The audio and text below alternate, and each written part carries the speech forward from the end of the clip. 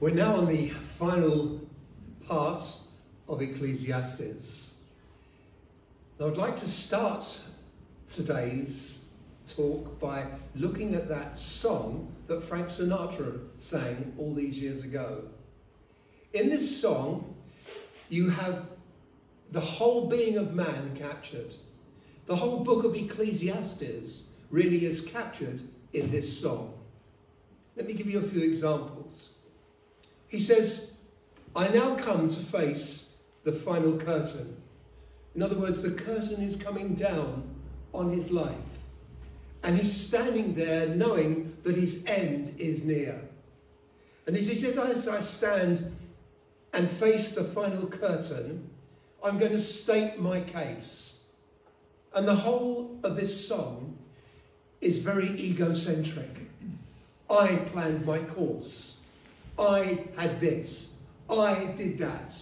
I made sure this was right. I made sure that was right. Yes, I have faced the blows. Yes, I've charted my course. Yes, I did it my way. It is a tragedy that man today is, as I said the last time, toying with eternity gambling that God does not exist. You may be listening to this on YouTube. And as we've gone through Ecclesiastes, we've seen the hopelessness of man living his life without God. And the preacher at the end of this series, he says, I want to draw your attention to one absolute certainty. And it's this God shall bring every deed into judgment. God will bring every deed into judgment. That is an absolute certainty. You may be living your life as if there is no God.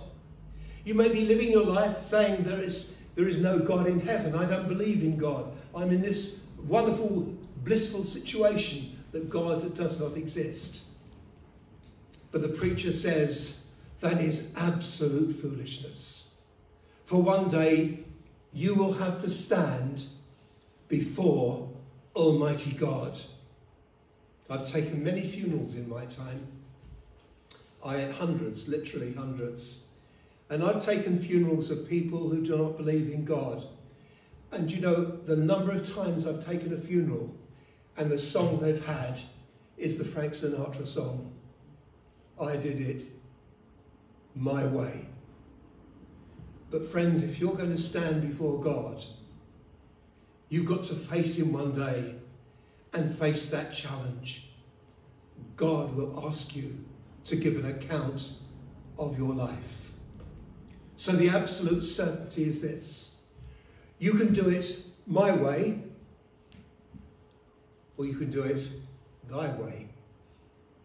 You can please yourself and go headlong into eternity without any knowledge of God and then one day having to face Him.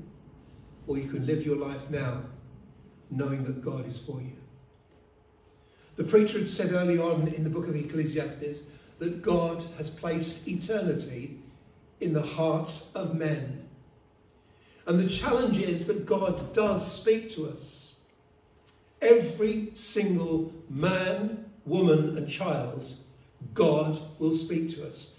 Because we have a receptive in our, in our bodies that God can speak to. It's eternity. It's that one place where God will challenge us. Now, perhaps you've been challenged throughout your life. But you know, the problem is that when you're challenged, it's so easy to ignore it. And you can suppress that challenge. And in fact, Jesus puts it this way today, if you hear his voice, do not harden your heart. There is a sense in which that receptive inside you, you can suppress so much that the voice of God will never be heard. How tragedy, the tragedy of my way says this the record says, I did it my way. But that record you will have to give an account to God for. every single word you have ever said, every action you have taken. One day you will stand before the living God, and God will say, What did you do with the life that I gave you? Did you do it my way, or did you do it thy way?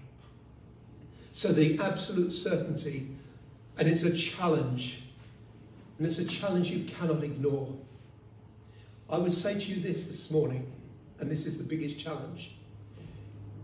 Do you call God a liar? Because if you ignore this challenge, you're saying that God is a liar, that Jesus is a liar, that the Holy Spirit is a liar. And that's the most dangerous position you can ever get into. So there's the certainty. One day that curtain will come down. And when all else is gone, we'll have to face the God of heaven. So what do we do? Well, the preacher goes on and he says these words. What does God require of you? Fear God and keep his commandments. Is that easy? Do you ever go through a day when you don't do something wrong? When you haven't offended God? If you don't know what God says, I suggest you read your Bible. You start to learn what God has said. You find out what God has said in his word. And you tell me that you can go through a day, a minute, an hour without offending God, with doing going away from God. And yet God, the preacher says you've got to fear God and keep his commandments. And that is absolutely impossible. I'll give you an illustration, can I?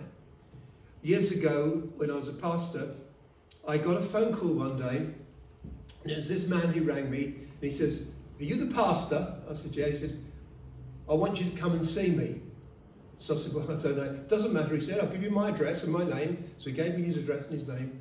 And I went and I knocked on his door. And I went in there and he was sitting in a chair. I can see him now, sitting in a chair. So I said, Why do you want to see me? He said, I went to the doctor this week and I've been told I've just got a few days to live. So I looked at him and I was thinking, well, how do I take it from here? He said, before you speak, he said, I want to tell you about my life.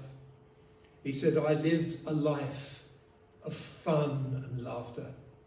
I've lived it to the full. He said, I was in the war. I was taken prisoner by the Italians. I escaped an Italian prisoner war camp. He said, I've killed people in battle. He said, when I came out of the war, he said, I was a young man full of life.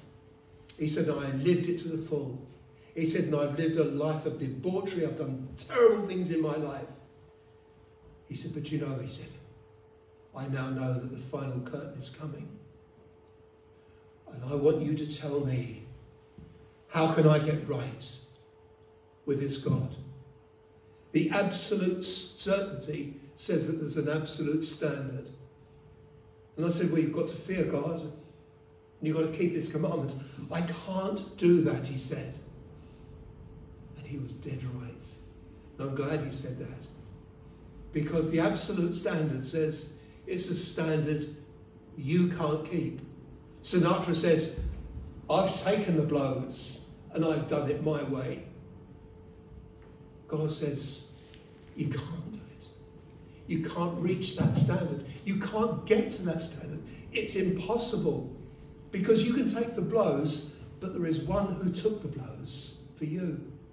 And I remember speaking to that man, and rather than drowning out the voice of God, I'm thankful that he listened to the voice of God. And in the end, in the last moments of his life, he could turn around and say, I know the God who made me. I know that my Redeemer lives. Have you drowned out the voice of God this morning? The absolute standard says you've got to keep his commandments and you've got to love God with all your heart and all your soul and all your body. But perhaps you've laughed and mocked at him. And you perhaps you've outgrown this message. It may be that you had a grandmother that prayed for you. Perhaps you had a father that looked over you and taught you these things. Perhaps you had a Sunday school teacher, a friend, who's prayed for you for years and years and years. And that voice is still tingling in your heart. I would say, isn't it time now that you listen to that standard and say you need to go further? Today, if you hear his voice, don't harden your hearts. So that's the absolute certainty you're going to die. The absolute standard is that God says that that's the position you've got to reach. But there is an amazing invitation. It is impossible for you to reach that, that standard that he has set. And that's why he sent Jesus into the world. That's why we stand before the Almighty Jesus this morning, the one who hung on a cross and took the blows, the one who took the blows on our behalf. Jesus gave an amazing invitation to people. And if you like, this concludes this series. He says, Have you done it my way?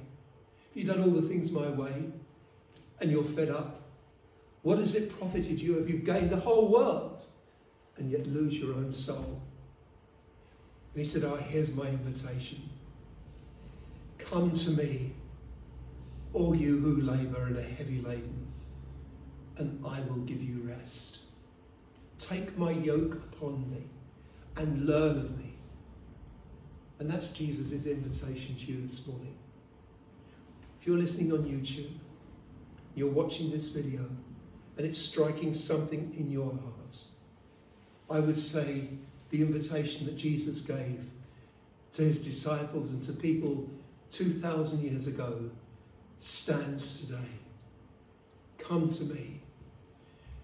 Do you want to face eternity alone?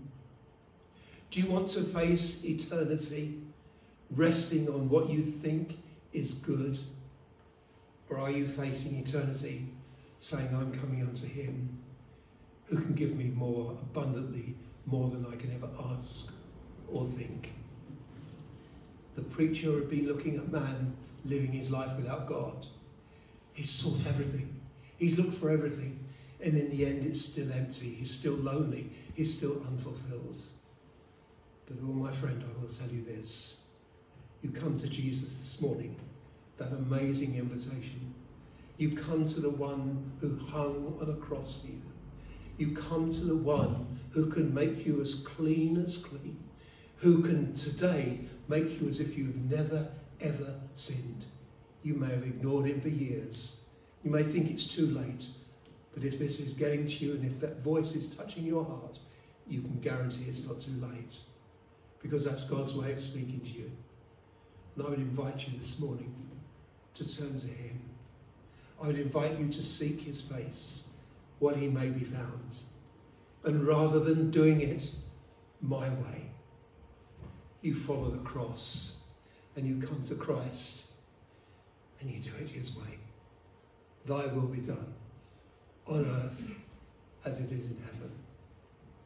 I pray that this series may have touched your hearts. It may have opened up to you thoughts that perhaps you've never had before, or perhaps you have had and have been dormant for many, many years. Why not this morning? Why not this day? Why not as you listen to this message? Why not turn to Him?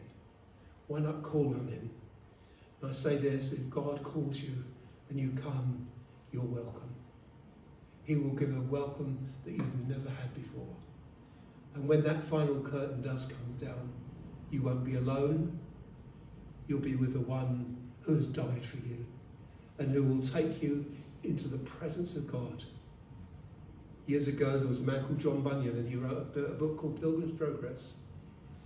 And he, in his final chapter, he imagines himself when that curtain comes down and death comes to him. And he faces the river of death and he feels alone and he looks at that river and he's scared and he cries out, Am I alone? And suddenly on the celestial city, the other side, that heavenly picture, the angels come down and they pick him up. They take him into the river and he says, Deep, don't worry, they said. Our arms around you. And God lifted him through that valley of the shadow of death and took him into the presence of the living God. I have sat at the bed of people who have gone into the presence of God. I've seen people who have trusted Christ and have gone into eternity absolutely joyful that they're going to the God who they love. I'll finish with an illustration. There was a woman called Sheila. She was one of the first people I ever met in when I was a pastor. And I still remember her to this day. She rang me and she asked me to go and heal her. Hadn't been to church before, but she was dying of cancer. And I looked at her and I said, listen, there's a more important thing than the healing of the body. It's the healing of the soul. And I went through Psalm 23 with her, told her that the Lord could be her shepherd, that the Lord could be with her. And she turned to Christ and she trusted Christ. And I remember going to seeing her in her last days in Brighton, and she was in a hospice. And I walked into that room and she was dying. Her husband had asked me to go, she, she wanted to see me. I sat by her bed and she was just about conscious. And I thought, well, I don't know, I, I should read. So I opened my Bible. I said, I want to read, to Sheila. She said, no, please, can I read? And I said, yes. She said, what do you want to read, Sheila? I want to read this. The Lord is my shepherd. Yea, though I walk through the valley of the shadow of death, I will fear no evil. I prayed and she passed into the presence of God almost as I prayed. I would say this the message of Ecclesiastes, the firm message of Ecclesiastes, is that there is another way than my way. Will you not turn with him? Turn to him this morning and knowing of your Lord and your Saviour. Join with billions of people who have actually found that same, that same assurance as I have, as many others have. May God bless you all.